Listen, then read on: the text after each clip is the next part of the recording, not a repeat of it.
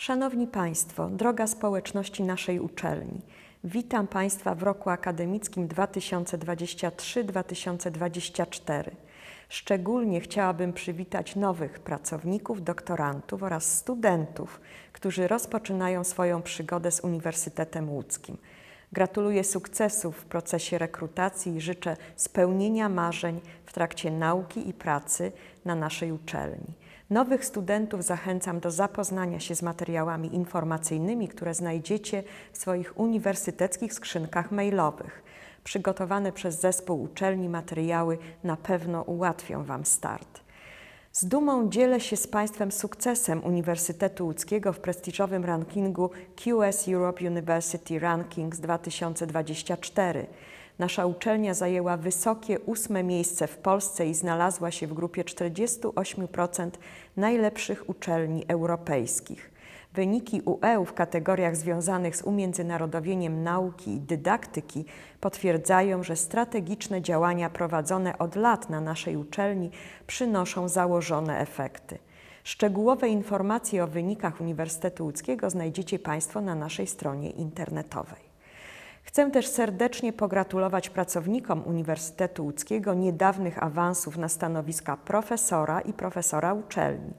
Życzę, aby doskonałość badawcza towarzyszyła Państwu na każdym etapie kariery naukowej. Za nami historyczne wydarzenie. Pierwsza wspólna inauguracja roku akademickiego sześciu wiodących łódzkich uczelni zrzeszonych w ramach Łódzkiego Partnerstwa Akademickiego. 2 października wspólnie z Politechniką Łódzką, Uniwersytetem Medycznym, Akademią Muzyczną, Akademią Sztuk Pięknych oraz Państwową Wyższą Szkołą Filmową, Telewizyjną i Teatralną w gmachu Filharmonii Łódzkiej powitaliśmy nowych studentów i doktorantów, a wszyscy zebrani mogli wysłuchać wykładu doktora Sławosza Uznańskiego, wykładu zatytułowanego Nowe spojrzenie na naszą planetę od załogowych lotów kosmicznych do obserwacji Ziemi. Wspólna inauguracja to jeden z licznych projektów, które realizuje łódzkie partnerstwo akademickie.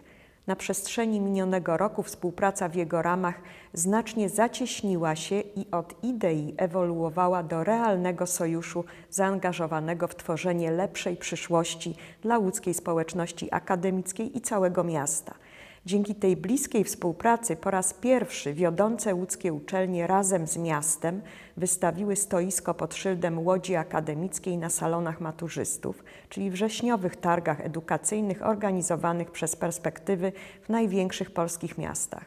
Kolejne wspólne przedsięwzięcia naukowe, dydaktyczne i z obszaru Art and Science przed nami – Zachęcam Państwa do śledzenia inicjatyw realizowanych przez Uniwersytet Łódzki w ramach Łódzkiego Partnerstwa Akademickiego i do aktywnego włączania się w nie.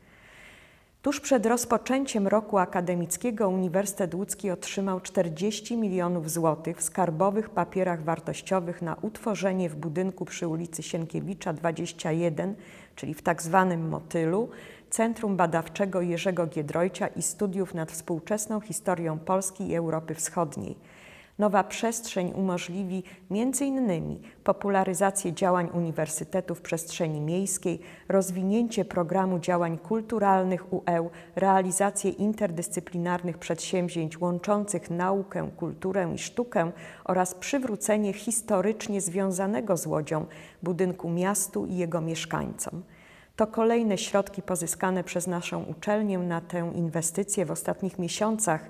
W maju otrzymaliśmy na ten cel 25 milionów złotych w skarbowych papierach wartościowych. Rozpoczynający się rok akademicki przyniesie serię ważnych dla naszej uczelni i całej społeczności akademickiej wydarzeń. 13 października odbędzie się uroczyste nadanie tytułu doktora honoris causa panu profesorowi doktorowi habilitowanemu Maciejowi Hennebergowi, wybitnemu antropologowi biologicznemu.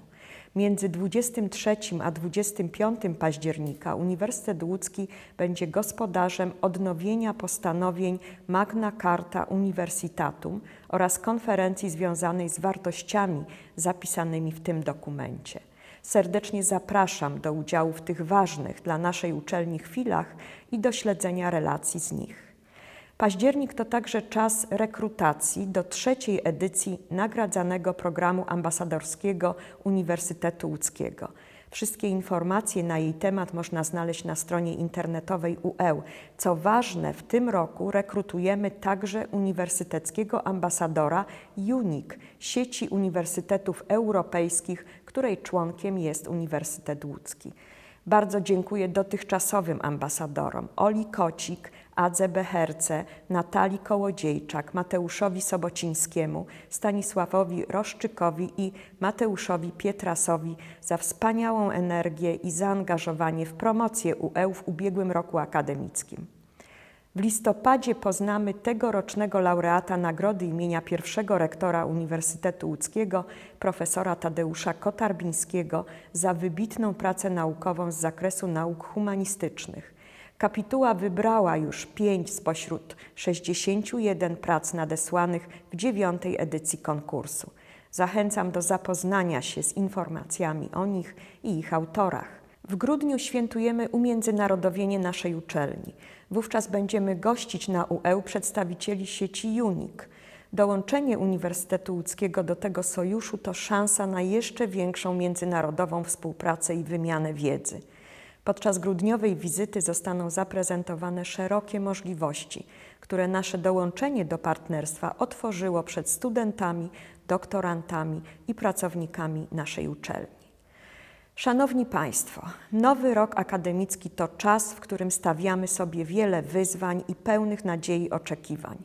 Życzę Państwu odwagi w podejmowaniu tych wyzwań, ciekawości, która będzie Waszym przewodnikiem na nowych ścieżkach, zaangażowania, byście mogli osiągnąć to, co dla Was ważne.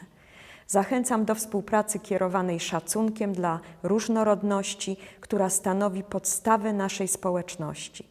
Serdecznie zapraszam także do regularnego śledzenia mediów społecznościowych Uniwersytetu Łódzkiego, odwiedzania naszej strony internetowej oraz czytania mailingów. Pracowników zachęcam do aktywnego korzystania z portalu pracowniczego. Bądźmy w kontakcie. Niech to będzie dobry rok.